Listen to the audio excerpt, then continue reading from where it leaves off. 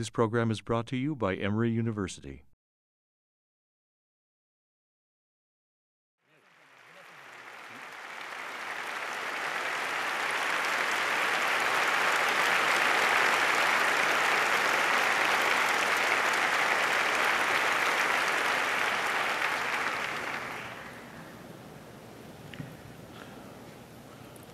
spiritual brothers and sisters.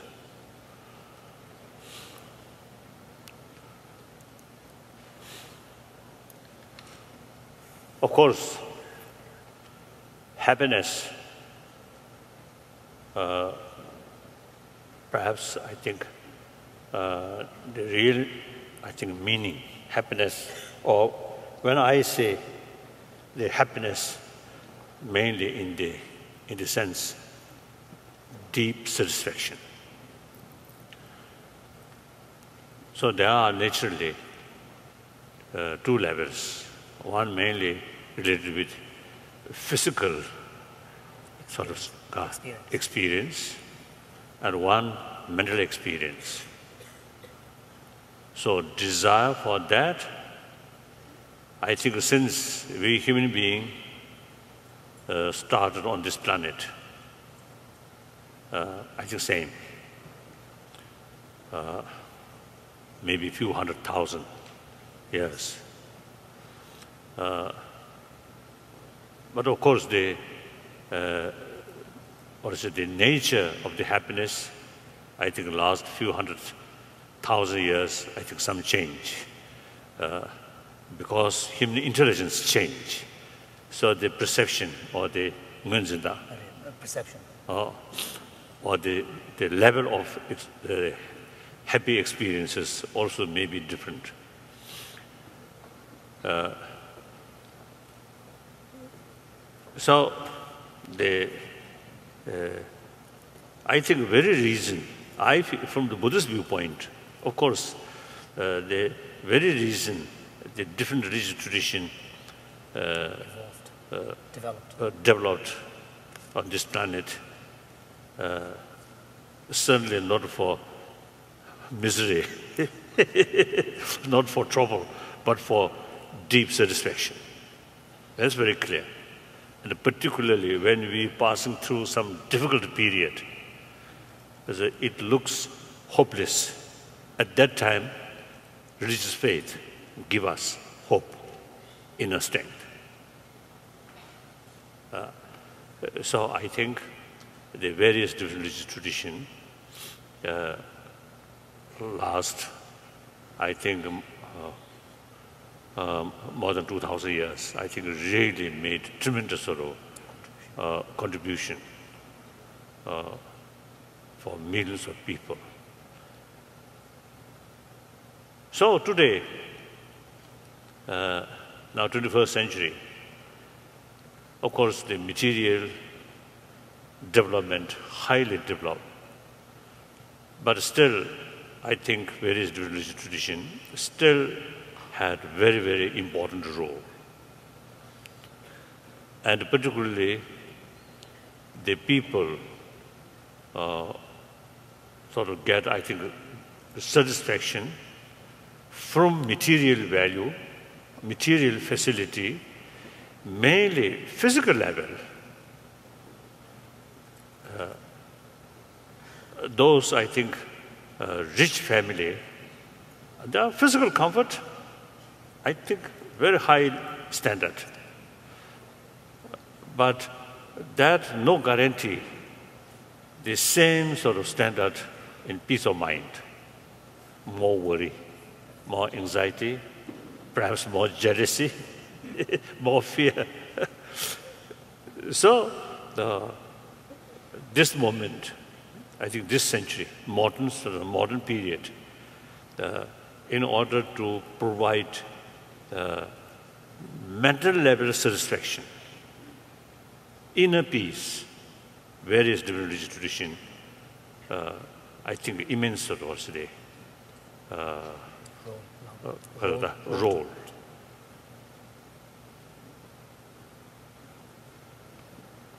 At that meantime, in order to make more effective contribution from various different religious traditions for a better world, better human being, more compassionate human being, more law-abiding human being. Doshumare. Uh, main is self-discipline or moral principle. Uh, the various religious tradition among ourselves uh, close understanding and through that way we can make a more effective sort of contribution. But sometimes some people may say, oh, uh, before sort of uh, helping to humanity, firstly, you yourself manage well, no longer quarrel or something. people may say that, isn't it? so, I think among ourselves, real sort of harmony uh, on the, on the basis of mutual admiration, mutual respect, uh, mutual appreciation. That very possible to develop. So these are, I think, very important. So, uh, like this sort of meeting or get this gathering, I think immense help. So, that's all. Next. You know, there's a phrase in American culture, the good life. Oh. Someone asked me a few months ago, has that discussion, that recurring theme of the good life, been raised again in the wake of the economic downturn? And I, I realized that I wasn't hearing anyone talk about the good life, but I had just accepted this invitation to be a part of this conversation. And I realized that, in fact, I think that American conversation, that the longings behind that and the focus of that have shifted, in fact, to a far flung conversation about the nature of human happiness. And I believe that this five year project at Emory and this summit on happiness today is a powerful expression of that and also an expression of how it represents a shift in perspective. Uh, because even in previous generations, when we talked about the good life, it was in terms of simplifying conditions and circumstances. It, it, was about the conditions and circumstances that might lead to a good life. I think that this discussion we're now having about happiness is about an inner orientation that can make life good in and through many kinds of circumstances and conditions. So it is a less materialistic conversation it is, in essence, a, a spiritual conversation. Though we all know that spirituality is defined and described in many different ways in 21st century lives. The way His Holiness the Dalai Lama has translated his wisdom on happiness has very interestingly, I think, energized and deepened this cultural interest we have in happiness. We have just begun to experience his his wisdom and his grace, graciousness here. And now we are going to add some distinguished Jewish, Christian, and Muslim voices to that conversation. We have Chief Rabbi Lord Jonathan Sacks of the United Kingdom, Bishop Katharine Jefferts Schori of the Episcopal Church, and Professor Dr. Seyyed Hossein Nasr of George Washington University.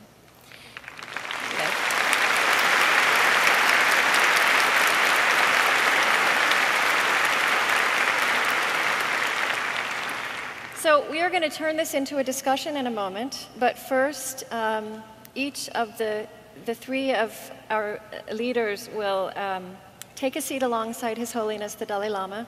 Rabbi Sacks will begin, and, and give us an introduction to the contribution their tradition might make to this collective unfolding discussion on the nature of human happiness.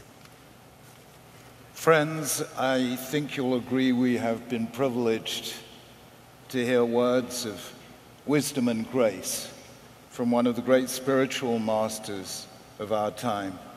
Your Holiness, we are blessed by your presence, inspired by your teaching, and if we could only learn one thing from you, which is how to laugh the way you do, I think we'd increase the happiness in the world.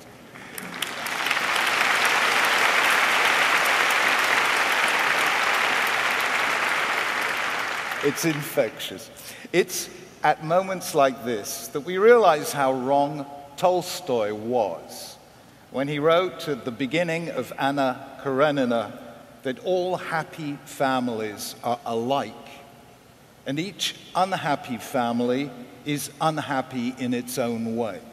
As if happiness were like the answer to a question in mathematics in which there are many wrong answers, but only one right one.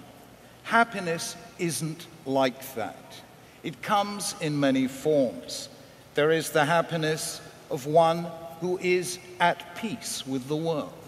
And there is the happiness of one who successfully changes the world. There is the happiness of a Mozart that is as sweet and natural as a spring breeze. And there is a happiness of a Beethoven carved from the rock by struggle and pain. And so it is with cultures. Each culture conceives of happiness in its own way, and we are enriched by the sheer multiplicity of ways in which human beings have flourished and made a blessing over life.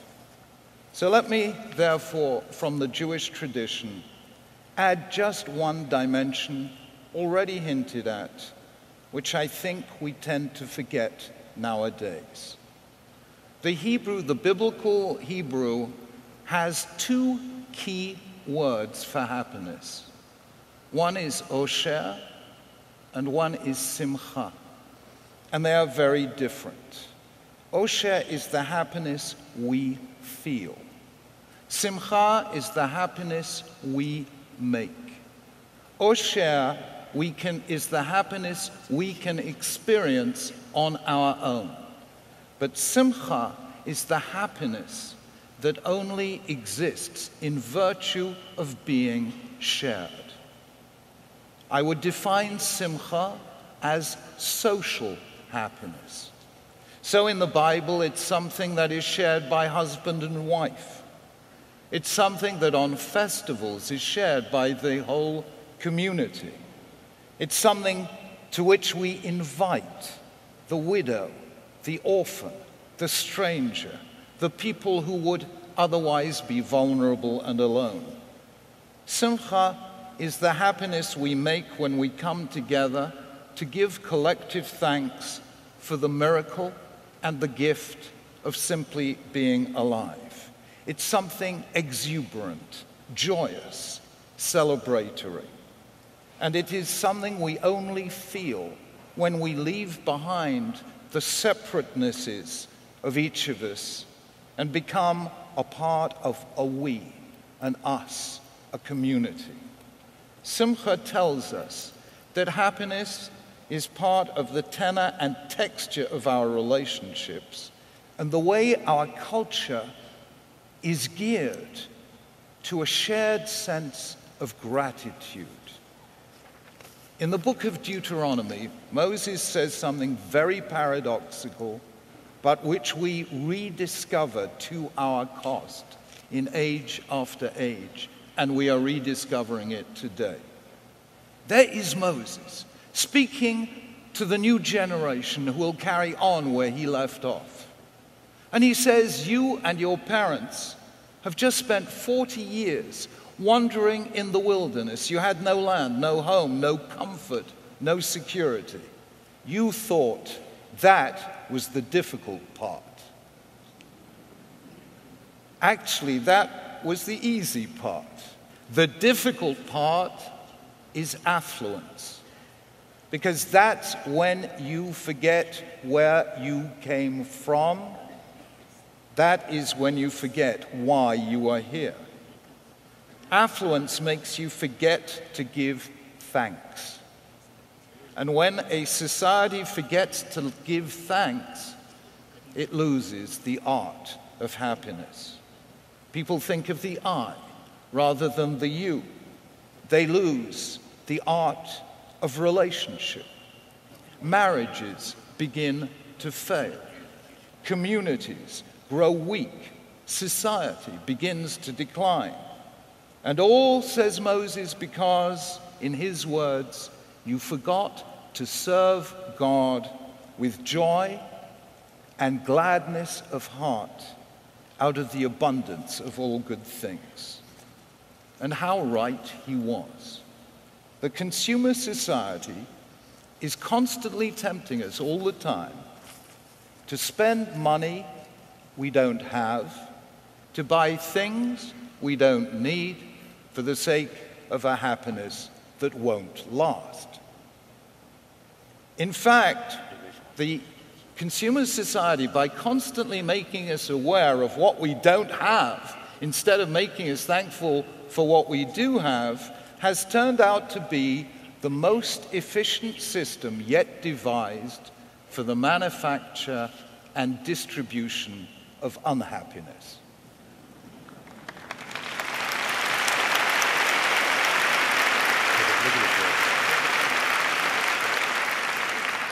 Simcha reminds us of the basic distinction just made by His Holiness between material goods and spiritual goods. It's a very interesting difference. If I have a certain amount of money and I give some of it to you, I have less. If I have a certain amount of power and I give it to you, I have less power. But if I have a certain amount of love or friendship or trust and I give it to you, I don't have less, I have more.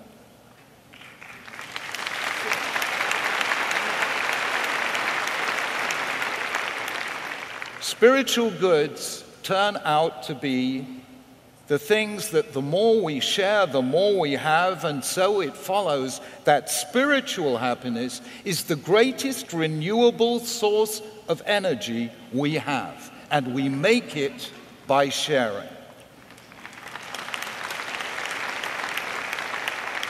So, the one Jewish insight I would add to our conversation is let's think a little less of the happiness I feel and more of the happiness we make when we come together as families, as communities, as communities of faith, respecting and loving one another, joined in that bond of fellowship and love.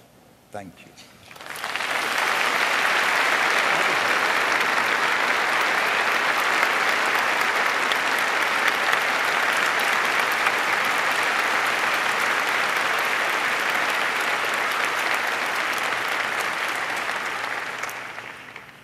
Bishop Jefferts Schori, would you like to take the place of honor now?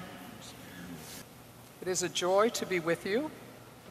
Uh, thank you for your introduction to happiness from Buddhist perspective. I was struck by your saying that happiness is both physical and mental. Uh, in Christian tradition, it is very important for us that God became human, that God took human form, and therefore bodies are of utmost importance. But as Rabbi Sacks has said, sometimes we take the goods of this world too seriously. We think that they are God rather than God. Happiness for Christians is about right relationship right relationship with God, with self, and with other. Other, both other human beings and all of the rest of creation. And it is that part that we are learning anew. Right relationship with God is putting God first in the center of things, understanding, as Rabbi Sacks has said, that nothing can replace God right relationship with other human beings and also with the rest of creation is understanding that all is made in the image of God, that it all reflects the divine. Um, I'm reminded of Indra's net and the, and the remarkable um, understanding that each part of creation reflects the whole.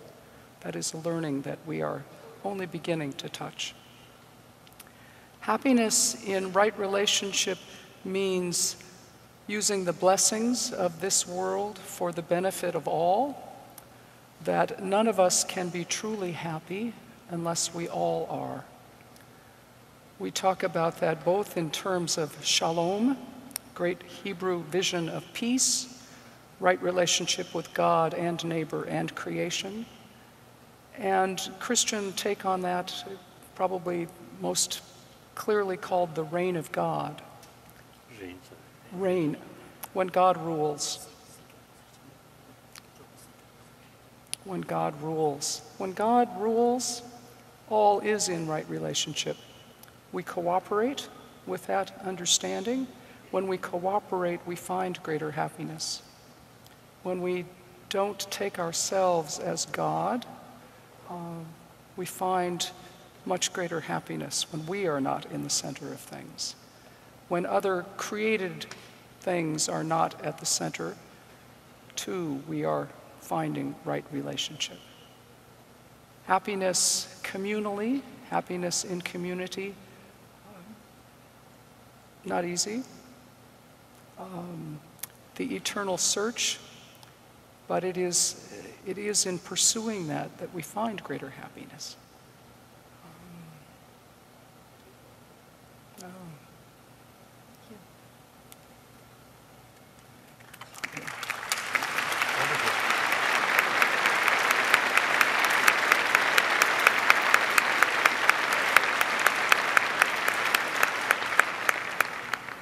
Your Holiness, we've met for 40 years on different continents. It's a great joy to see you again. Because your presence itself is happiness. To discuss happiness is one thing.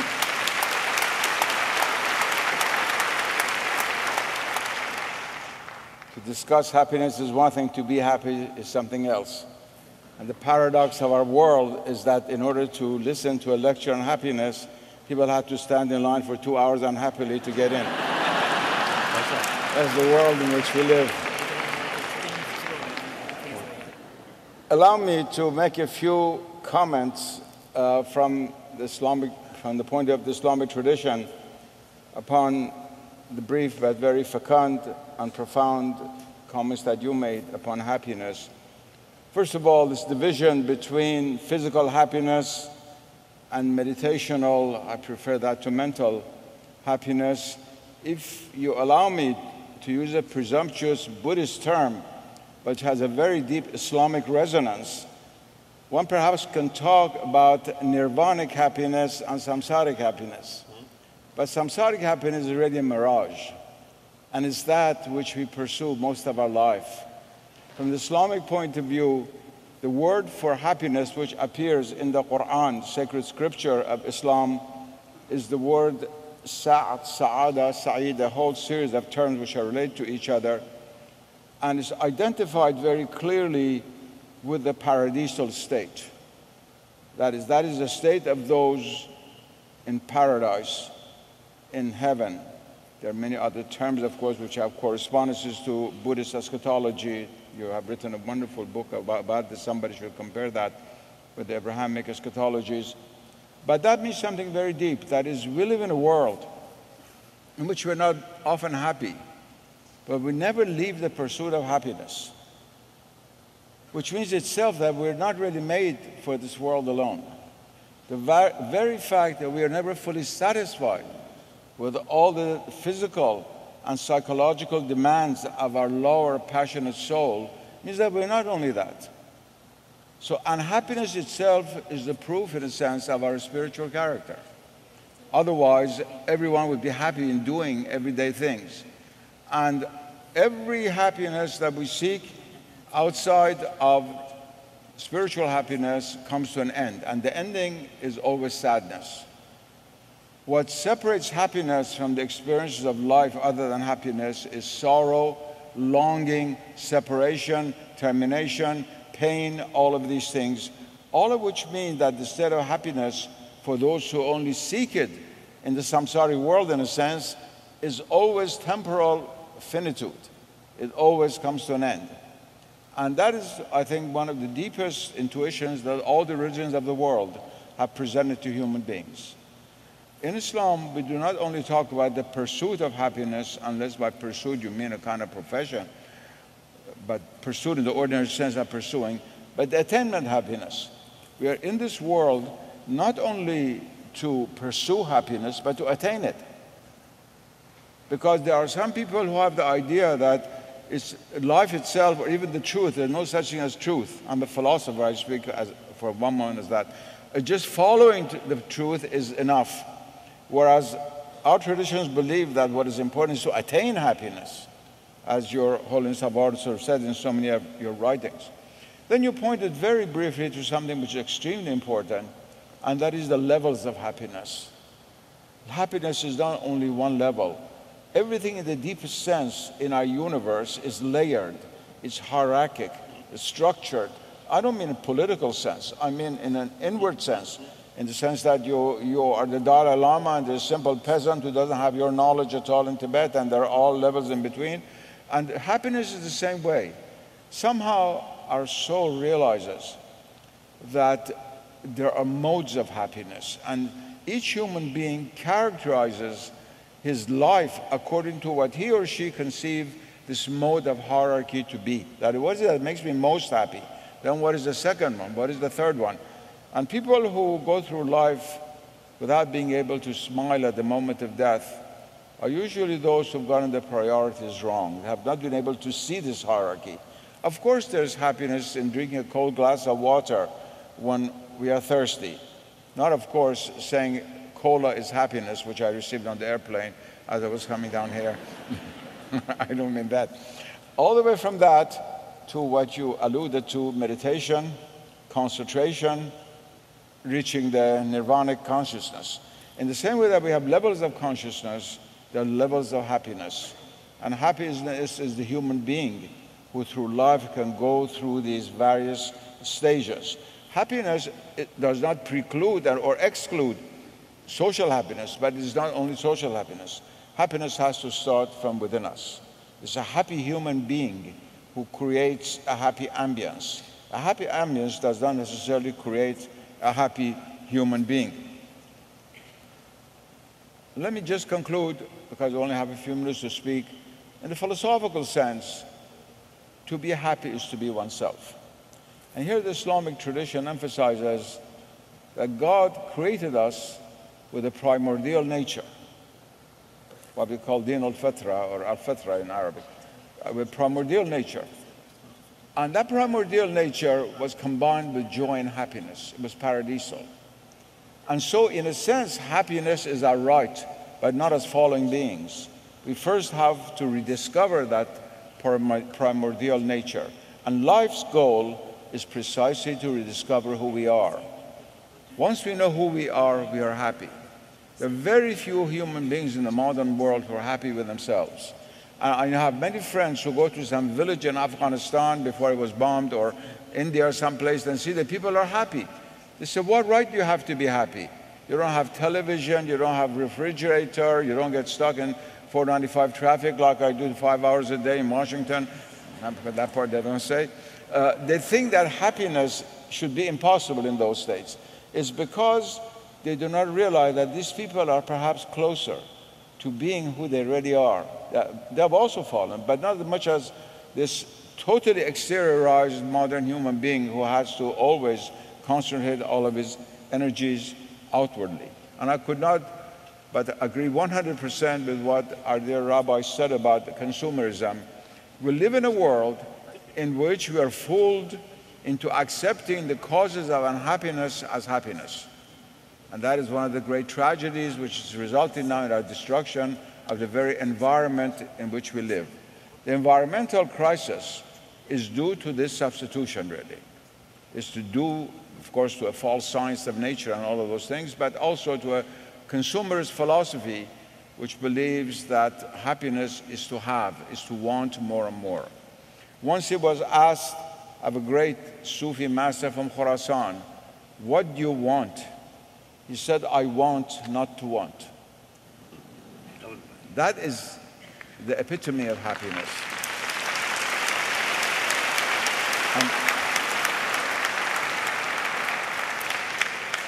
And in conclusion, just let me quote one single Arabic sentence, very famous proverb that says, Man asha sa'idan mata sa'idan.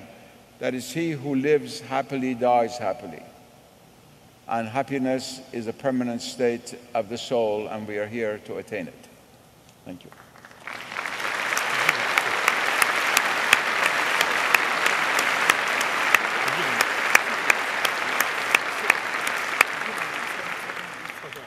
So I'd like to ask each of you one question and then have us interact. And if you have questions of each other, I'd also welcome that. Um, Your Holiness, as several people have already mentioned, you radiate happiness.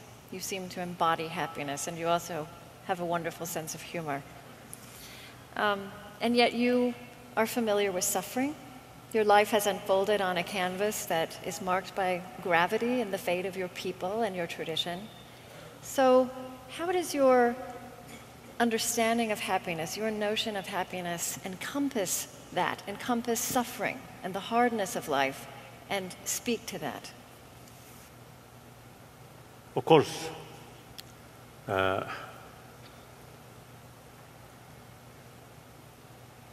my life not easy. That's clear.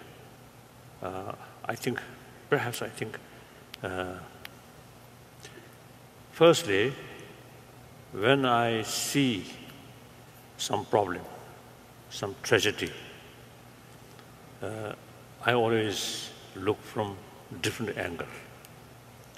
And sometimes the tragedy, one aspect, tragedy, but that same sort of event may also may have some positive thing.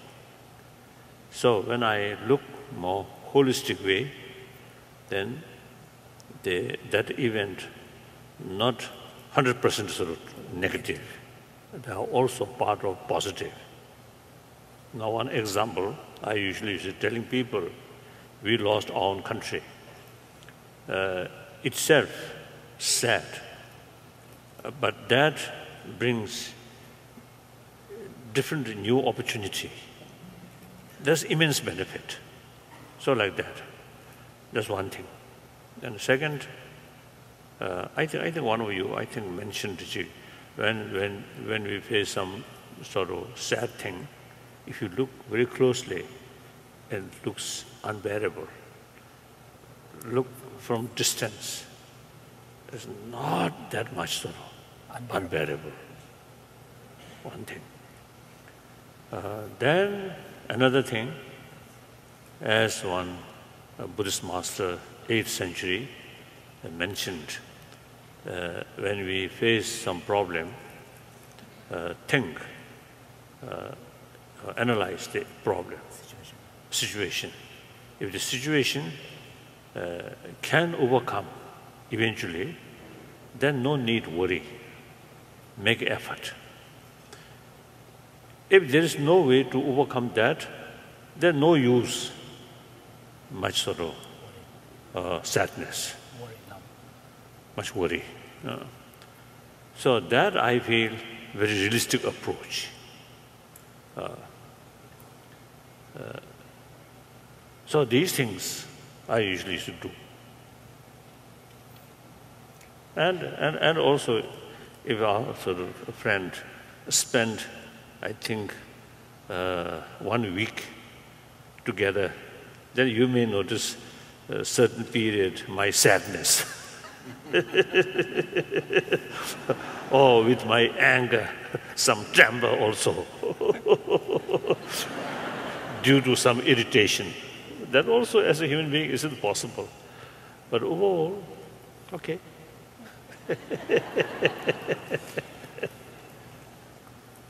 and I think it can be very interesting for this next hour or so if we not only honor and enjoy the echoes of similarity, but also the differences. So I wonder, and I'd pose this to you, Rabbi Sacks, and even Bishop Schori, um, it seems to me that, uh, that the Hebrew Bible, let's say the Psalms, really wallow in sadness and suffering and anger as a way through those human experiences.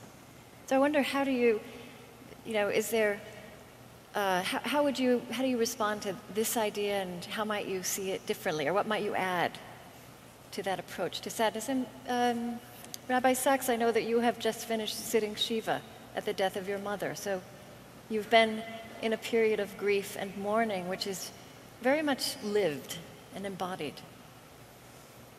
Yeah, it is true that if you read the Jewish literature and you read Jewish history, happiness is not the first word that comes to mind. We, do, we do degrees in misery, postgraduate angst, and advanced guilt. And we do all this stuff, you know. And yet, somehow or other, when all of that is at an end, we get together and we celebrate. And where I love what His Holiness has just said, how He Himself has lived a story that I resonate with, a story of suffering and exile. And yet, He has come through it, still smiling. And that to me is how I have always defined my faith as a Jew. The definition of a Jew, Israel is, as it says in Genesis 34, one who struggles, wrestles with God and with humanity and prevails. And Jacob says something very profound to the angel. He says, I will not let you go until you bless me. And that is how I feel about suffering. When something bad happens, I will not let go of that bad thing until I have discovered the blessing that lies within it. When my late father died, now I'm in mourning for my late mother that sense of grief and bereavement suddenly taught me that so many things that I thought were important, external success, all of that is irrelevant. You lose a parent, you suddenly realize what a slender thing life is, how easily you can lose those you love. And then out of that comes a new simplicity. And that is why sometimes all the pain and the tears lift you to a much higher and deeper joy when you say to the bad times, I will not let you go until you bless me. Thank you.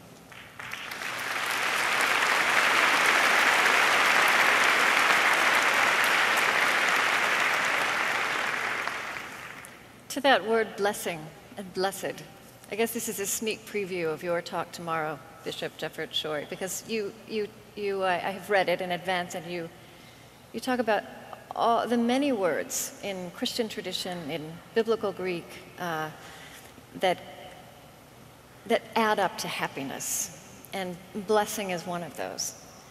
And I was, I'm very struck when you when you bring this discussion with happiness in connection with the Beatitudes, where Jesus talks about blessedness and happiness, and it is, it actually sounds very Buddhist when I read it in the context of preparing for this. And yet, I think, um, yes, so Rabbi Sacks, you said, you've also written that, uh, about the oy vey theory of Jewishness. um, and I think that there's been a, a temptation in Christianity, not a temptation, a tendency to think about happiness that will only be complete after this life, right? In the pure, unmediated presence of God. Um, talk to me about how you work with that tendency and how you see that evolving in the imagination of Christians now.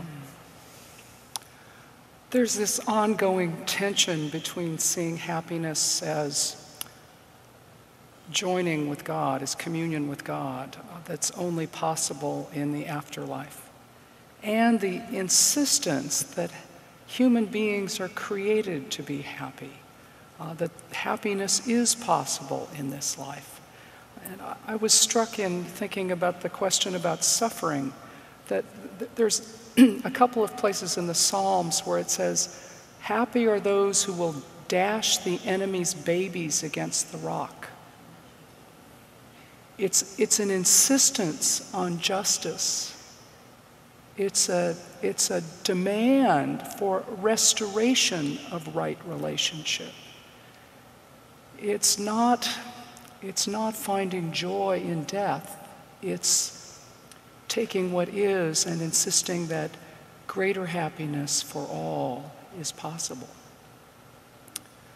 There's the, the particular piece of Christianity that insists that sometimes suffering is a route to happiness for the larger community. Uh, that kind of suffering may not be chosen, but it contains blessing within it the sense that our, our goal is this fully restored creation at right relationship with all that is. And sometimes the journey there requires us to enter into suffering and to demand, to insist that there is blessing in the midst of that, wrestling with the angel. Um, it, it must be there. You have created us to be happy, you have created us to be good. Now show us. Show us the way through this. Show us the possibility for which all that is is created.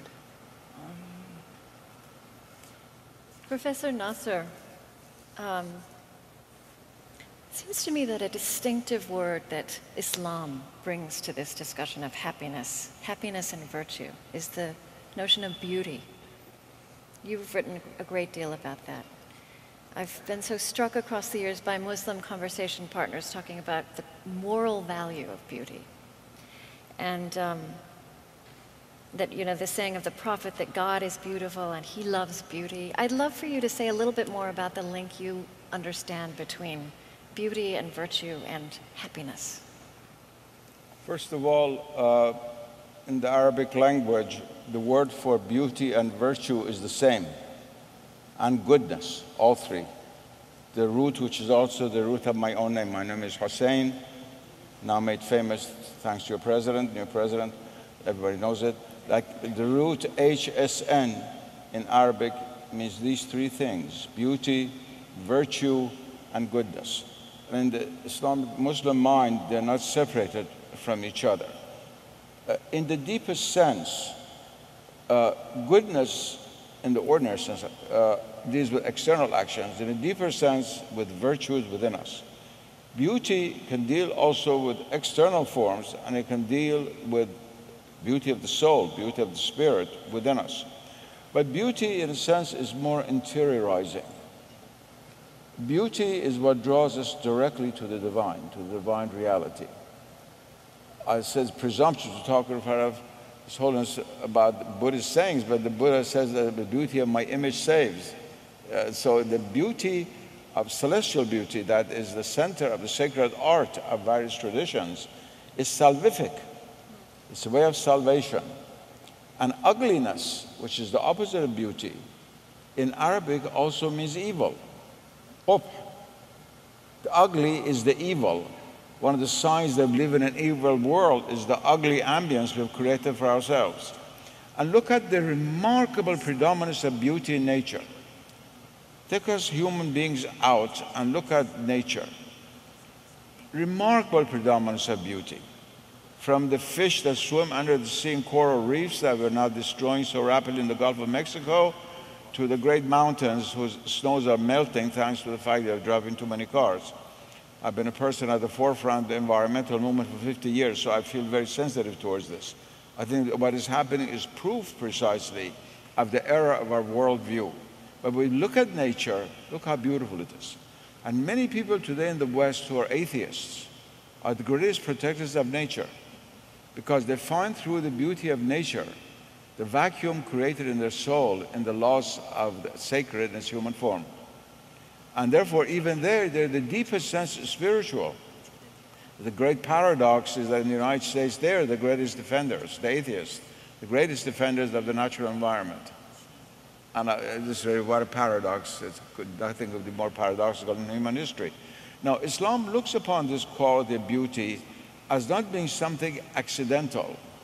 To be virtuous is to be beautiful. To be good is to be beautiful. And that is why wherever Islam meant, went, it created a civilization based on beauty. Look at Islamic art, the carpets, the tile, the, and that again is one of the great tragedies that we have now, some of the ugliest cities in the world, in the Islamic world. The great contrast between a city like Isfahan and its modernized part of Karachi or Cairo. They're all part of the same civilization. But the spiritual aspect of beauty has not disappeared with the ugliness of urban sprawl. It is central to Islamic spirituality. And Islamic spirituality sees even morality in terms of spiritual beauty. Because a moral act should emanate from a virtuous soul. And a virtuous soul is the soul that is beautiful. If I were to translate the word virtuous soul into Persian or Arabic, it would mean beautiful soul. So, yes, Beauty is central, and it's beauty that brings us happiness. Because our souls, in that primordial condition that I mentioned, were created in beauty. We're drawn to beauty like a firefly to the candle. Our soul is drawn to beauty. And beauty makes us happy, except it depends what condition our soul is in. As he said, uh, you could listen to the 21st Concerto of Mozart, the second movement, which is a celestial piece of Western music, and be happy for a long, long time. You could listen to this bang bang, which is called music today, and be happy for five minutes and then get bored and go to something else. But our soul seeks beauty, and it is beauty that makes the soul happy. Everything, even says a beautiful dish you've made when we are hungry. So, yes, there's a very deep nexus between beauty and happiness. And happy is the person who realizes inner beauty.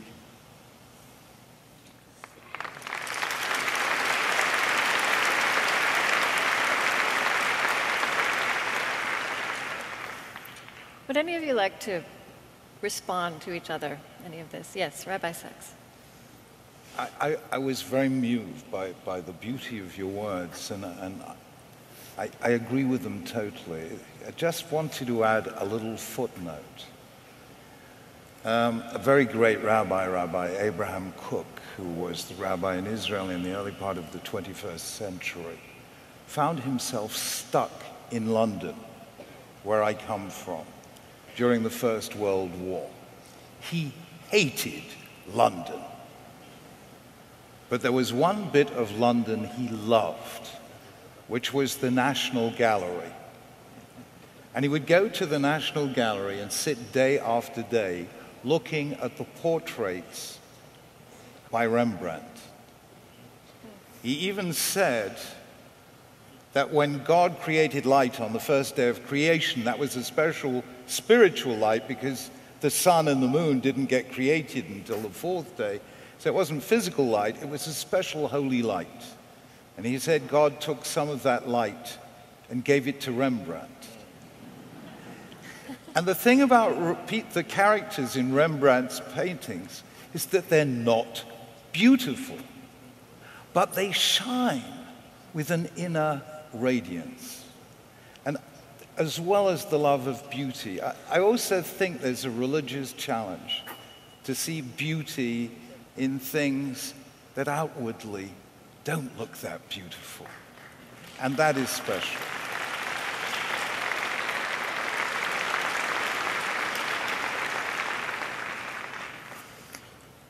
I've noticed in um, some of what you've all written in preparation for this conference, as the monotheists among us here in the panel, that there's a lot of attention to defining happiness and to the many words that are used in our different traditions and in our languages, in our, in our tradition's original language. And, and it, it makes me think that, that in this culture in particular, if we are going to take happiness seriously in a whole new way, as I think many of us want to, we do have to wrestle a bit with that word it, that also leads me to wonder if American culture has somehow been fundamentally led astray from the outset by defining happiness as a right. As a right. Is this something that we have to work with in order to have this new conversation? Yes. I've been very much concerned with this of late in trying to compare the attitude of various religions to the question of rights because Western civilization keeps talking about human rights, human rights, human rights all the time. And other religious civilizations, now that they don't like being human, they still have always seen this somewhat differently. And there is a question of the relation of rights to responsibilities. Uh, I think you have something very important there. By emphasizing the rights of man to happiness, nothing is said about the responsibilities of man. And many American generations have sort of expected the governments to provide for them help to exercise their rights, but never really the responsibilities very much, unless people have had individual conscience taught in churches and synagogues. I think the time has come for us to realize it's first responsibilities, then rights. The word responsible comes from the Latin word res, which means response, echo. We are ourselves responses to God's creative act. So by existing, we are responsible. And it's from accepting that responsibility that issues all our rights. I think if we do not balance in our present generation and the generation that is to come, once again, a correct balance between responsibilities and rights just talking about human rights is going to end by just end, terminating human existence. We need to accept responsibility, first and foremost, towards other creatures, human beings, towards God's nature, and ultimately towards God Himself, of course. Your Holiness, um, I wonder how you react to happiness being defined as a right. I always believe and also share with the people very purpose of our life is for happiness. Those non-believer also they felt the uh, religion, religious faith it brings a lot of sort of complication. So without that, you see, they feel uh, they easier to achieve happy life. so I think the very purpose of our existence it's for happiness. Uh, I think our life, I think ultimately based on hope. There's no guarantee that tomorrow or next month or next year or next century something better. wonderful, something good. Nobody guarantee that. Something better. Something better. But we simply, you see, they hope. Oh, in spite of today's difficulties, or oh, future will be better. So we are making effort. If hope gone, completely hopeless, then uh, I think that very attitude may shorten our life. Then a person who a little bit impatience and experience hopelessness, then suicide. So therefore, uh, our life depend on hope. Hope for better for happiness. So therefore, I feel uh, maybe I uh, too simple, maybe, but I feel like that. The very purpose of our life, I can, uh, we can we can say happiness. So that mentioned your constitution, and then also see equally very right.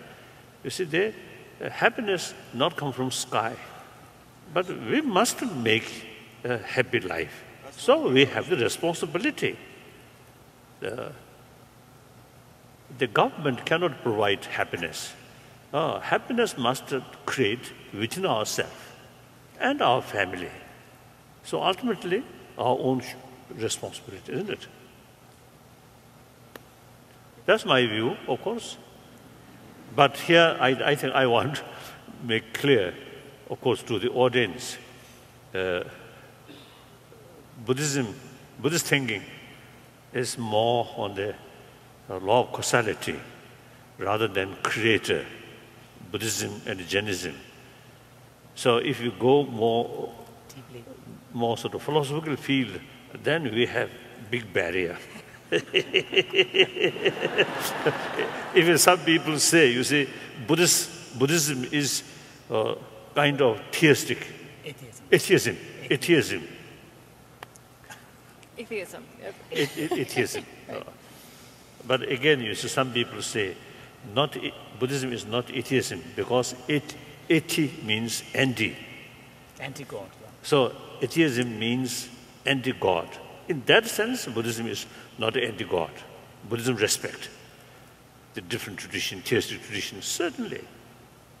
And myself also, uh, deep sort of adm- sort of, admiration. All those major traditions. It is, I would say, no question. It's the last sort of um, more than thousand years or two thousand years, these major spiritual, major spiritual, spiritual traditions give immense benefit to humanity. So, so therefore, uh, obviously, this is sufficient, plenty reasons to respect, to admire, to appreciation, to appreciate. But in the, in the meantime, I always make distinction: faith, appreciation, respect, two different things.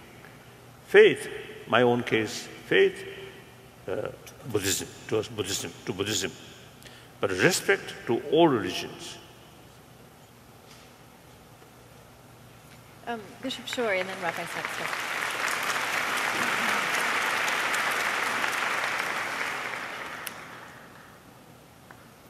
Happiness, not a right, but a duty. Um, and a duty not just to oneself, but to the whole community, to the whole of creation. Uh, when we see it, when we see it primarily as a right, it is so individually focused that at least many Americans lose the, lose the perspective of the larger whole. Um, right to pursue happiness on behalf of society, on, hap- on behalf of all creation. Rabbi Sacks. I'd like just to reflect on one other word, which is pursuit. Because, as anyone who thought deeply about how Aristotle was very good on this, Ecclesiastes, likewise, finding happiness doesn't necessarily follow from pursuing it. Sometimes the deepest happiness comes when you're least expecting it. And there is a wonderful story about an 18th century rabbi, Levi Yitzchak of Berdichev, who is looking at people rushing to and fro in the town square. And he wonders why they're all running so frenetically. And he stops one and he says, Why are you running? And the man says, I'm running to make a living. And the rabbi says to him, How come you're so sure that the living is in front of you and you have to run to catch it up? Maybe it's behind you and you've got to stop and let it catch up with you. Now, which bits of contemporary culture do we stop and let our blessings catch up with us? Now, that is called the Sabbath, which we all share. The Sabbath is when we celebrate the things that are important but not urgent. And I remember once um, taking a, a, an, a, you know, an atheist, actually, I think an atheist, who was the premier childcare specialist in Britain, to see a little Jewish primary school and some of the stuff they do there. And she saw on Friday, you know, the little children preparing for the Sabbath, the little five year old mother and father blessing the five year old children and welcoming the five year old guests. And she's fascinated by this Sabbath, which she has never experienced. And she asked one five year old boy, What do you like most about the Sabbath? And he says, oh, What don't you like? And the five year old boy, being an Orthodox child, says, You can't watch television, it's terrible. and then she said, What do you like about the Sabbath? And he said, It's the only time daddy doesn't have to rush away. And sometimes we don't need to pursue happiness. We just need to pause and let it catch up with us.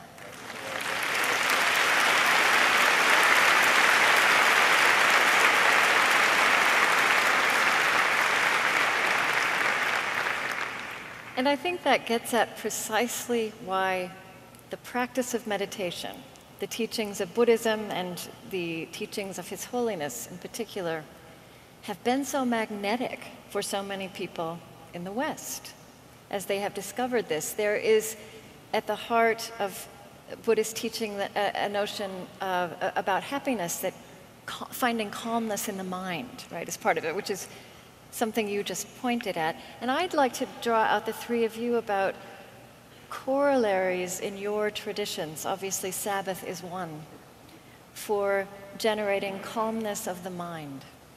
In the Islamic tradition, the five daily prayers themselves, you pull yourself out of the flow of time in a space that is sacralized.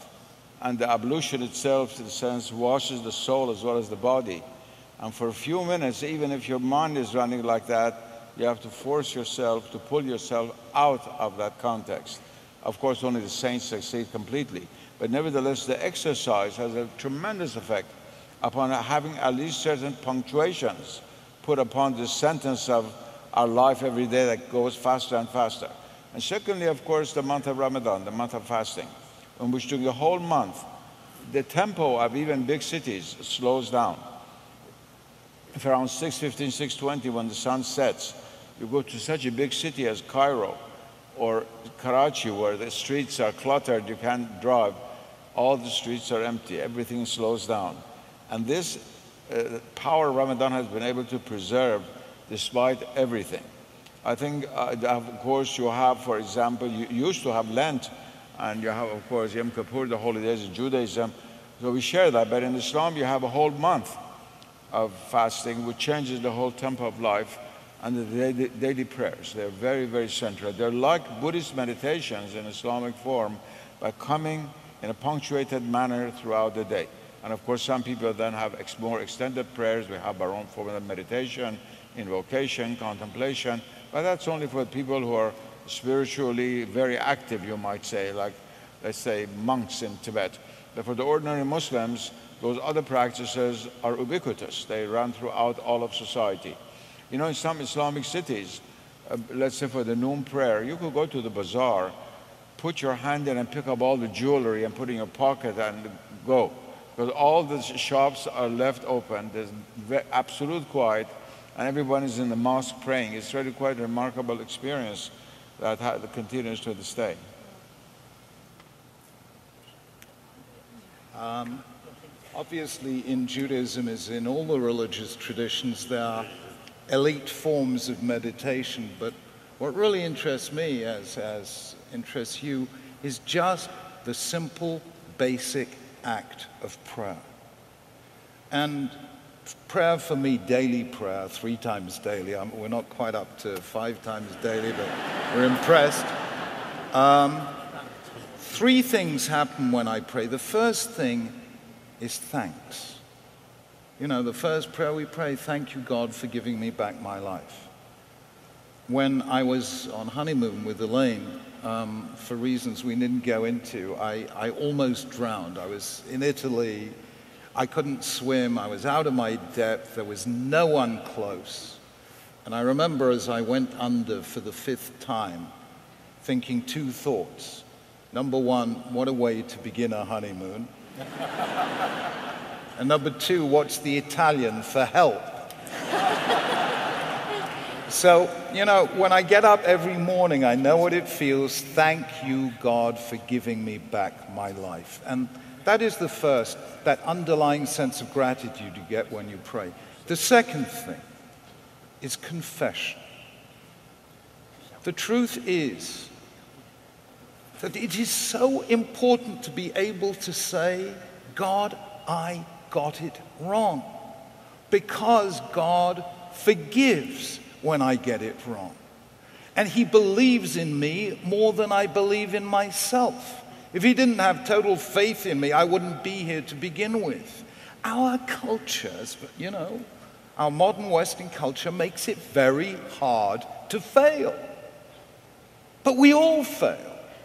And therefore, when we have an unforgiving culture, we have to fake it and pretend we never did fail. And when I am able to say to God, God, you know that I got it wrong. And he says to me, Yeah, Jonathan, you got it wrong, uh, but try again next time. And you feel the ability to acknowledge your mistakes, then you grow. You learn by those.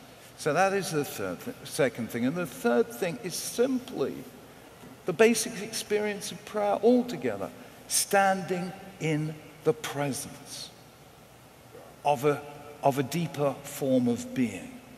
Knowing that this universe is not indifferent to my existence, deaf to my prayers, blind to my hopes, that somehow there is something that is giving me hope. And when I feel in that presence of the being at the heart of being, then we experience the greatest line of all in the life of faith from Psalm 23 Though I walk through the valley of the shadow of death, I will fear no evil, for you are with me. We can face the future without fear if we know we do not face it alone.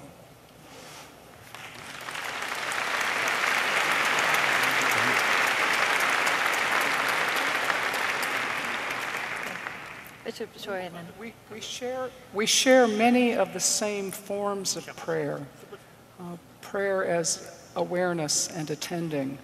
Um, Christians may happen in other traditions as well, sometimes pray with images, sometimes pray without images, a kind of emptying prayer. I think the part that is perhaps most attractive to new learners is about understanding all of existence as prayer. The Celts were very effective at um, blessing each moment of the day, blessing the milking of the cow, blessing the covering of the fire at night. Uh, Brother Lawrence uh, blessed the washing of dishes. Uh, runners begin to understand the blessing that comes with putting your body to work and emptying the mind. There, there are practices that each of us participates in that are about simple awareness of God's presence in every breath, in every moment, in every encounter, in every challenge. Uh, it's, it's that awareness and attending that is, I think, so significant. The points that uh, brought up.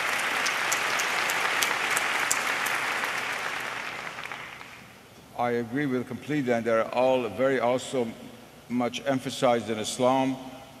In Islam, as in Judaism, in a sense, priesthood is divided among all human beings, and each person stands directly before God. But perhaps there's one thing that the rabbi doesn't know, and his point doesn't know that I should mention, the Muslims owe a great deal to Moses. You said you pray three times a day, we pray five times a day. We believe that when the Prophet ascended from Jerusalem to heaven, God taught him the daily prayers that we perform. And when he was coming down, Moses met him and said, How many units of prayer did God order you to get, tell your followers? He said, 51. He said, They'll never do it. Believe me, I have a thousand years of experience. Go back and bargain with God. Go back and bargain with God. And so the prophet went and bargained. It came down to 17 units. Thank you very much. That, otherwise, we would have to do 51. So the Muslims always thank Moses for that.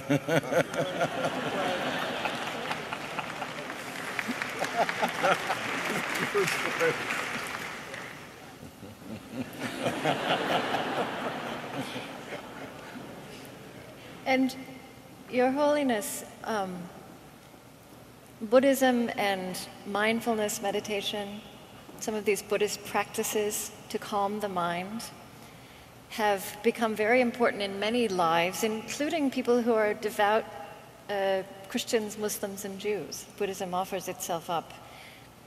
I can imagine that people have said to you, though, I mean, you have, it's, it's not just about calmness of mind, it's training your mind. And you, in particular, uh, your daily practice is known. You spend hours in meditation and prayer. Uh, I think I think most of us in this culture feel that we do not or cannot carve out that kind of space for training our minds to get to the point, as you said, that in the midst of something that feels sad or tragic, we can gain a distance on it. What, what advice do you give people who feel that it is hard to make that kind of space in a modern life? I always believe, and also accordingly, I expressing or telling people that different people, different, also the uh, religious tradition, it is much better to keep one's own tradition. It's, it's much better, more suit, suitable. So in the West, Judeo-Christian background, uh, generally, and to some extent, Islam also. So all these theistic religion, so it is much better to keep that tradition. Uh, and then like, uh, I think Buddhist terminology, mindfulness. Mindfulness practice. Oh, it's a constant sort of watch one's own mental state. This, whether you see use that term or not, all religion is a practice that, isn't it? Hmm? Self-discipline. Now like Ramadan, or five times prayer, or three times prayer, mindfulness working. And during that sort of prayer, uh, your mind fully concentrate on Allah or God like that. That also is a single-pointed mind sort of practice, meditation. meditation. So all major religious tradition, different sort of, I think, different term, but same meaning. Uh, so, some my Christian friend, you see, uh, showing interest, or in fact, I think practice a certain sort of also the techniques or method to increase compassion, to increase patience. Uh, so that's okay. These are common practice. Basically, it's a practice of love, compassion, forgiveness, tolerance, self-discipline, contentment. All these same practice, common, common. Uh, so one thing, the theory of some kind of relative, relativity, relativity uh, uh, absence of independent existence. One, my Christian friend, one monk, now he already passed away. Uh, he always showing interest about some of these Buddhist practice. And then one day, he asked me about this, this theory of emptiness. Uh, although he himself, you see, have some kind of, sort of explanation according to Christianity. Uh, so total submission oneself to God. So the self-centered attitude empty. That kind of sort of... Connotation, uh, meaning. Uh, meaning. Good. But the Uh, Uh, other meaning of emptiness means absence of independent existence no absolute. So he sort of further sort of what's the uh, inquiring about that. Then i told him this is not your business. This is buddhist business. So in the philosophical field you see there's differences theistic religion and non theistic religion So it is better is to keep one's own sort of tradition. That's much effective, much better. Some people look to see, fond to, uh, to take something from here, take something from here, something from here. Uh, no real solid basis. That's not good. Syncretism is terrible. Uh, 그래서 syncretism sort of tama tu tu ta de 어, 진짜 진짜 어, tu tu tu I think even food is own sort of 그래서 uh, unique things remain there, more tasteful. Everything mixed. that tastes less.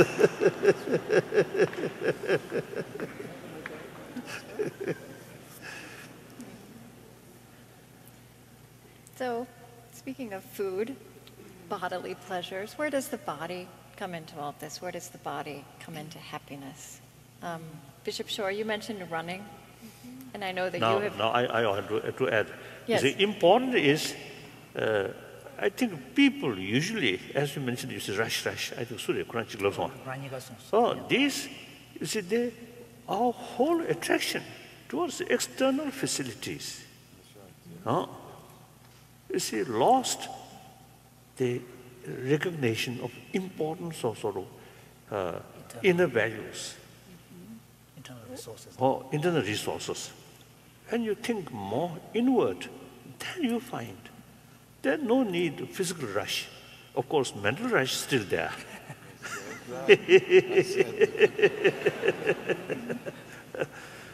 so that I think the I think some of the sort of problem, I mean, too much busy life. I think too much attraction about uh, uh, outside outside. And we, many, many people, you see, believe the real sort of happiness come from outside, from money, from power. That's fundamentally wrong. Real happiness must come from within. These are just, 가져다, factors for comfort 어, for 가져다, Conditions for for- conditions. Real sources from within whether believer or not, not believer. That, as a human being, as a, per- as a sort of being with consciousness, the ultimate source of happiness within ourselves. That's very important.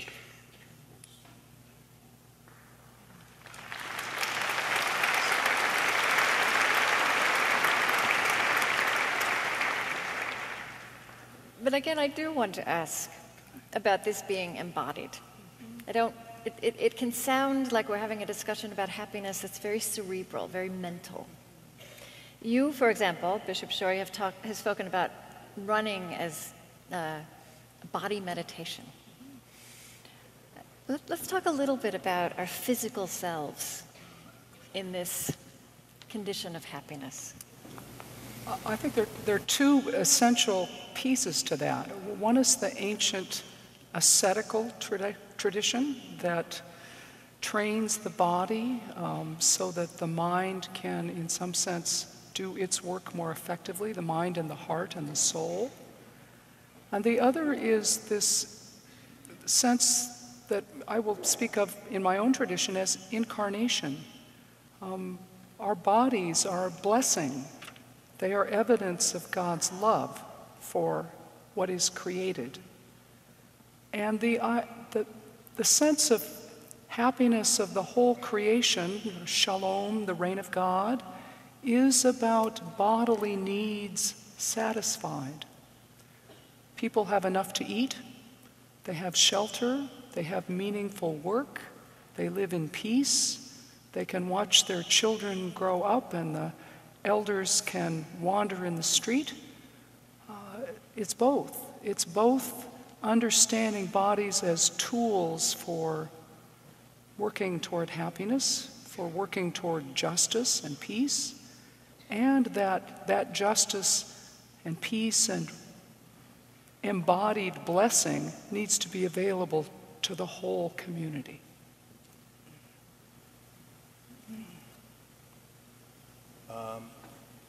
Well, uh, obviously, Judaism has a certain approach to the physical dimension of the spiritual life. It's called food. In fact, somebody once said, you know, if you want a crash course in understanding all the Jewish festivals, they can all be summed up in three sentences. They tried to kill us, we survived, let's eat.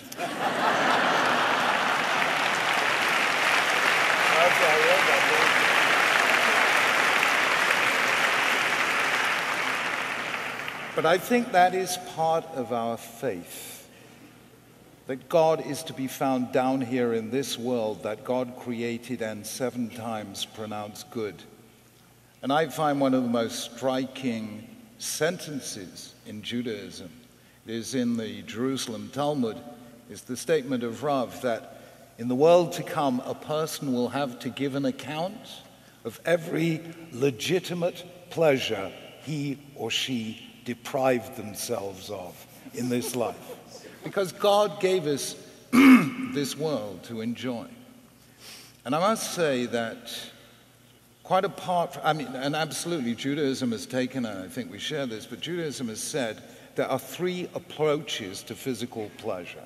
Number one is hedonism, the worship of pleasure.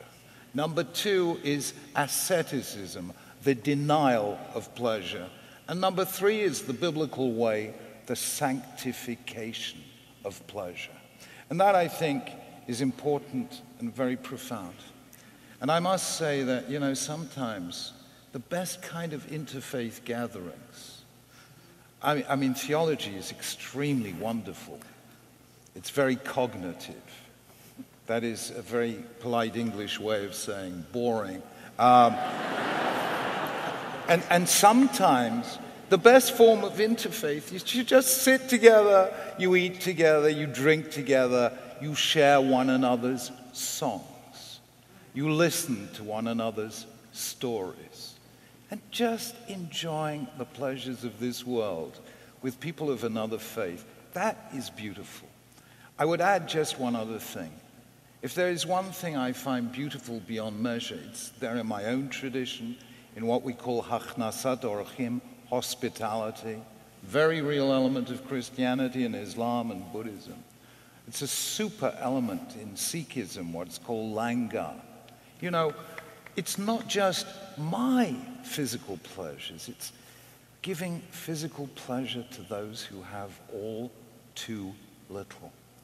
And one very great Hasidic teacher once said, Somebody else's material needs are my spiritual duties.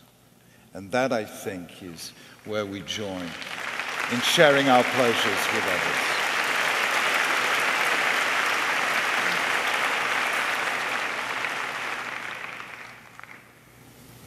Body, in a sense, is like a double edged sword. On the one hand, there is need for denial. On the other hand, the body is a manifestation of divine presence on the highest level. And there is no sanctification possible without a certain form of asceticism. The Germans saying that there is no culture without asceticism. And that's true. We have to deny in order to be able to confirm that which transcends that what we deny. The testimony of faith in Islam, La ilaha illallah, there is no God, but God saw the denial of all the gods with a small g, all the false idols that we worship in order to confirm the divine reality. Now, in all the monotheistic religions, in fact, in all religions, Hinduism, Buddhism, there's an element of asceticism in order to free the soul from the entrapment, not of the body itself, but the image of the body upon the psyche, or the psyche is that element of the psyche which dominates over the body, and which, in a sense, imprisons us. There is no religion without asceticism. That's impossible. However, to deny the reality of the body, sanctified, what he called sanctification, is also a very great error. And it, as great tradition as in Buddhism, which began by emphasizing uh, samsara, you end up with a sacred body of the Buddha. And we have that in another form in Islam, we have that in all the Abrahamic religions, the fact that we believe in the resurrection of the body and not only of the soul, which we share with Islam, shares with Christianity and Talmudic uh, Judaism. And also the, in Christianity, the body of Christ, the centrality of the body of Christ, is one of the paradoxes for myself as a Muslim looking upon Christianity. It's a religion in which you eat the body of the founder every day, in the Eucharist in a certain sense, symbolically, but there was such a long period of theology of opposition to the sacred aspect of the body. So only side stream currents in Christian theology delved into it. And now it's coming to the fore. And the question of the denial of the significance of the body, which also has to do with sacred aspects of sexuality and the relation that we have with the world of nature, and the denial of the sacred aspect of nature, they all go together, cluster together. And to realize that our body is also has a sanctified aspect, that is a projection of, in a sense, the subtle body, the spiritual body on this plane, and especially physical beauty reflects sometimes a very, very deep beauty. It's not skin deep necessarily. And that spiritual beauty is always reflected in the physical. We grow it uh, when we're born as a young man and woman. We might be beautiful, but that's, I've done, done nothing for that. That God has done that. When we are old, if we're still beautiful, it's the reflection of our actions in this world. A person who grows old beautifully, there's something inward that has been transformed. And so the body is very, very precious. The care for it, the understanding of its significance, and a deeper level, its spiritual significance, which have this in Tantrism in the Indian universe, and we also have it in Islam, is I think a very, very significant revival of religious teaching that has to take place in all the religions today.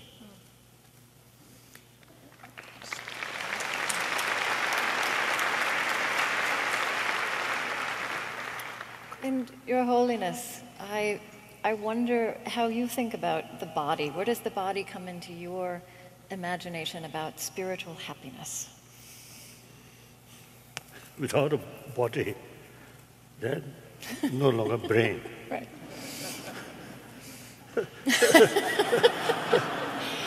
then difficult to think.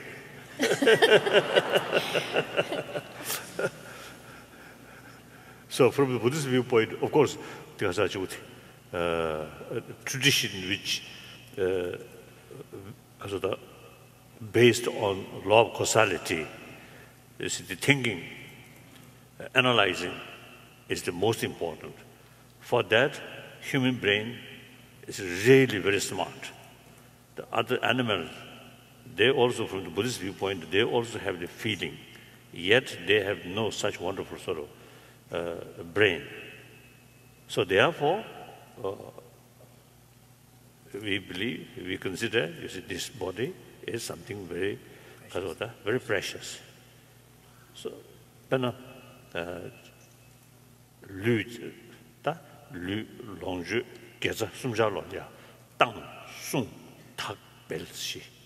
Um, for example, in the um, uh, there's a Buddhist practices that involve one's relationship with uh, an attitude towards uh, one's body, one's material resources, and also one's collection of virtues. And uh, in, in, in the connection to all of these, one needs, there, you know, there are different stages of practice that involve, first of all, kind of letting go. And then, uh, and then the second under stage. Under different circumstances. Under, under certain circumstances, we have to. The circumstances are such, you see, give even your body, your organ, something really benefit, then give. But then, in other circumstances, uh, you must protect. Protect. So there is a kind of a guarding and protecting and nurturing of the body, and then uh, and then also perfection of those resources and body, and then uh, increasing and enhancing their uh, capacity. So there's a complex relationship between you know both body resources and one's virtues.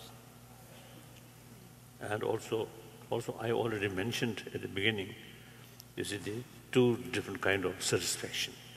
One satisfaction, of course, a comfortable shelter, uh, so sufficient food, uh, and also sufficient sleep you see, provides certain sort of degree of satisfaction. That also is, we, uh, we have to acquire. Nothing wrong. The, and comfortable sort of sustain your body fit, then your mind, mental function becoming more effective. Physically, too much tired, then mental function also difficult. uh, so in any way there's some happiness certain degree of happiness or satisfaction related with sensorial. That's the body. Uh, another uh, level of happiness. Uh, level of happiness or satisfaction is a mental state. Now, between these two mental state is more important. I think obviously mentally happy, uh, even if you see some purpose, even your physical sort of difficulties. Now, Ramadan is a daytime, whole day fasting.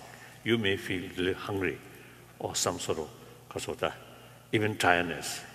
But mentally, uh, you voluntarily take that, that hardship. Uh, so that gives you satisfaction mentally.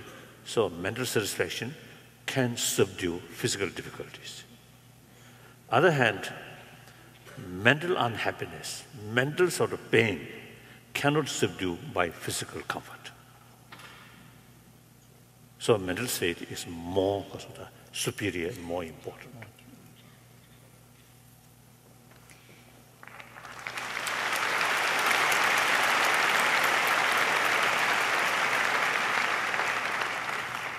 Your Holiness, um, compassion is obviously central to what you teach uh, and also to your understanding of a happy life. You have written and spoken a great deal about practicing compassion towards enemies, towards those who hate you. Um, this is a moment in American political life and cultural life where there's a great deal of hatred and lack of compassion of enemies. And I wonder, uh, just to bring this discussion to another level, to a social level, what advice you might offer to this moment in our collective life. Jesus Christ For example, in the gospel, um, you know, in the gospel, if you find the commandment that if some hits you on your right cheek, then turn the other cheek. So there's this sort of same idea, practice of patience and practice of tolerance. Yes, but, but also subverting, subverting the violence, uh, using the violence, in some sense, the energy of the anger um, to change the situation. Wh- But what does that mean in practical terms? I mean, Uh, how would that look? That, that also similar. That also similar. Uh, now here you say we have to go to a more deeper level. Mm -hmm. The viol real demarcation, violence and non-violence is not on the level of physical action, but mental action. A certain sort of physical rough action, wrathful action, uh, motivated by sense of concern of well-being of other. Oh, in order to stop their wrongdoing. If they carry wrongdoing, then ultimately they will suffer. So, unaware that, and purely the sense of concern of their long-term well-being, use some harsh method and force, forcefully stop their wrongdoing. It's non-violence.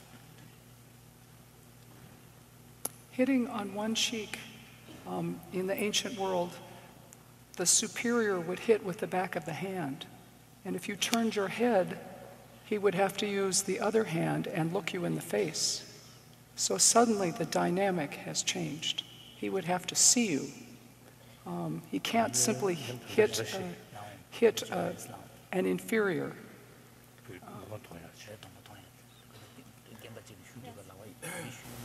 In the 23rd chapter of Deuteronomy, so unexpected. And I want, I think we all have to hear it. Here it is. Moses is talking about the experience of the Israelites in Egypt. We read about it in the book of Exodus an age of oppression, of slavery, of almost genocide, attempted genocide. And eventually the Israelites leave, they go through the desert, and as they're about to cross the Jordan and enter the land, Moses says these words Do not hate an Egyptian, for you are a stranger in his land.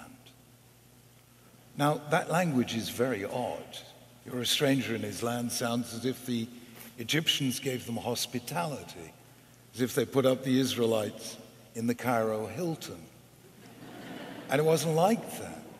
So, what is Moses saying? Do not hate an Egyptian, for you were strangers in your land. He is telling the Israelites, You have left the physical Egypt. Now you must leave the mental experience of Egypt. You have to let go of hate. Because if you do not let go of hate, you will never be free. If the Israelites had continued to hate their enemies, Moses would have taken the Israelites out of Egypt, but he would not have taken Egypt out of the Israelites. They would be slaves to their past, slaves to their feeling of pain and injustice and grievance. This is the line he taught them, and the line we have to repeat day after day in this difficult and dangerous 21st century. You have to let go of hate if you want to be free.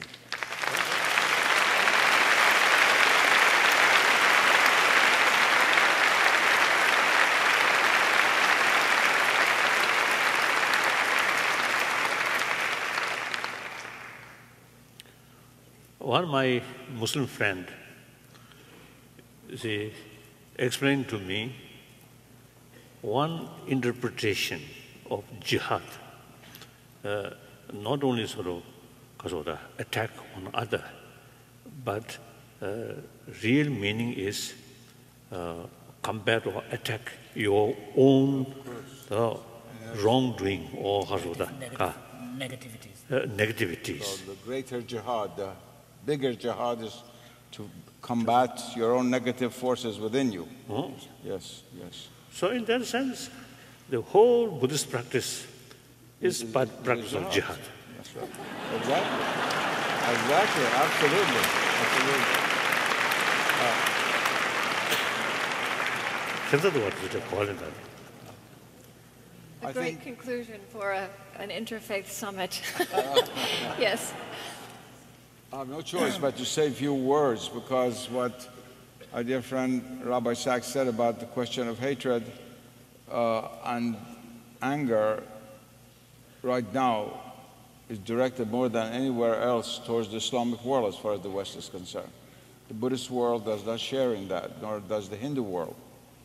And it brings up, of course, some very intractable problems, at the heart of which is the Arab Israeli conflict, which goes back precisely to rooted attitudes, if I can put it mildly, which have to be given up if we're going to have peace. But there's something more profound that is going on here.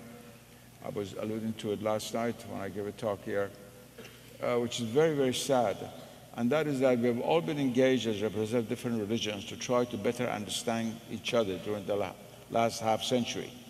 Half a century ago, people in Egypt or Iran knew much less about Buddhism than they do now. His books had not been, but he had written many of the books, but what he had written had not been translated, let's say, into my own mother tongue Persian. A lot of things like that have changed. But one thing which is going the other way is the rise in hatred in America against Islam. Until a few years ago, it was against Islamic so-called extremists. Now it's against Islam itself. And many of the old texts written hundreds of years ago in the Middle Ages in Europe and Latin have been resuscitated and regurgitated right here in uh, Atlanta and other cities uh, and coming out of the mouth of people from whom one would not expect this and claim to be Christians and brings up a terrible response, terrible reaction, uh, which is going to endanger, as I said last night, also the future of all Christian communities in the Middle East, in the Islamic world. And uh, the question that always comes up, the question of compassion that you ask, compassion is meaningless if you have no power to either do good or evil. I can be compassionate towards the Australian Aborigines. What effect does it have? And usually it's combined when you can do something and you exercise it, as the Buddhists have emphasized so much.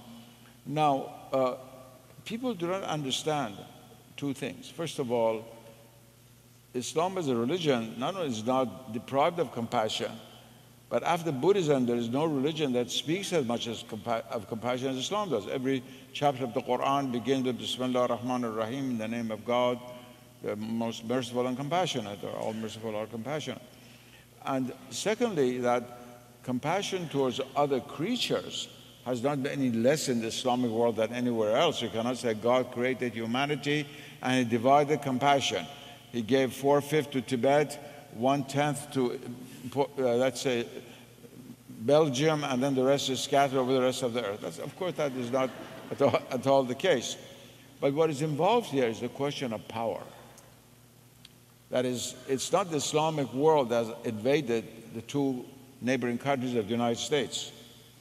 It's the other way around. And the great problem for the Muslims is the exercise of compassion at a time when they're being bombed every night. And the important for Christians in this country to understand what it means to be placed in such a situation, how to exercise Christian compassion, Christian charity. We are in a very, very complicated situation. And I think the leaders, the religious leaders, spiritual leaders of these traditions, religions, including Islam, must be able to speak up to this issue. Simply vilification, that I have all the uh, monopoly on compassion, you don't have any of it, you're just brute force or so forth, that's not going to solve any problem at all. And we need to, and that itself, to understand that the other can also be compassionate, is a form of compassion. If you're a follower of Christ or of the Prophet Islam, anybody, you must exercise that. No Muslim has a right to say that a Christian does not have compassion because somebody dropped a bomb on his brother's head last night, and vice versa. And this is a very important issue we're stuck on, especially in what's called the Middle East today. That's a very big subject.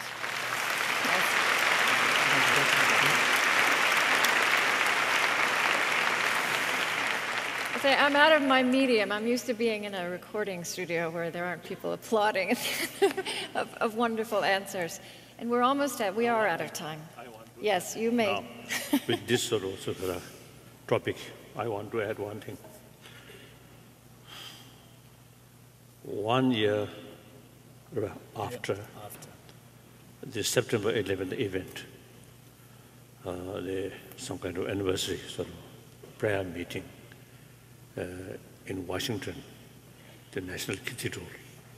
Uh, at that time, I was in Washington. So they invited me to uh, that ceremony. So there I mentioned these sort of was the unthinkable sort of destruction uh, carried by a few people whose background Muslim. Uh, these few Muslims sort of, sort of behavior. behavior cannot symbolize represent. whole, uh, cannot, represent. cannot represent whole Islam.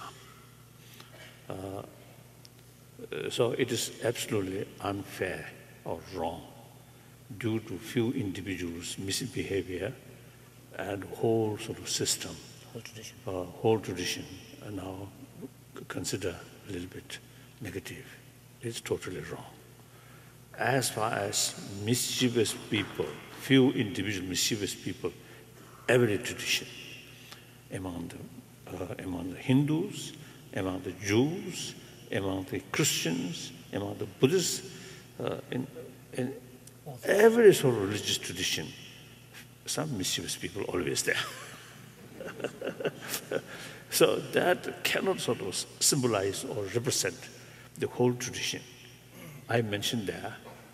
Uh, since then, many occasions in Europe, in Latin America, and also in India, I always say, uh, uh, so the share people, it is very important to make a distinction, the whole system, and a few mischievous people's activities. This must be because of this. Differentiated. Uh, of the distinction. Uh, that uh, here also I want to, to tell to tell you. Uh, now I think media people and also even some sort of writers, you see, create impression, clash, Western civilization and Islam. Uh, such things are just one individual sort of view. Uh, I think uh, there is no valid basis. Uh, basis. So some Islam practitioner. You see, actually, you see, uh, as we all know, because of that, because of mentioned that word, uh, genuine Islam practitioner should extend compassion towards all creatures, as always mentioned. And then also, you see, say, a genuine practitioner of Islam, uh, if, if anyone who create bloodshed, uh, he or she actually not genuine Islam practitioner. They say that. So we must, uh, so we must so that, touch the, the essential message and don't look these few individuals' behavior. That's very important.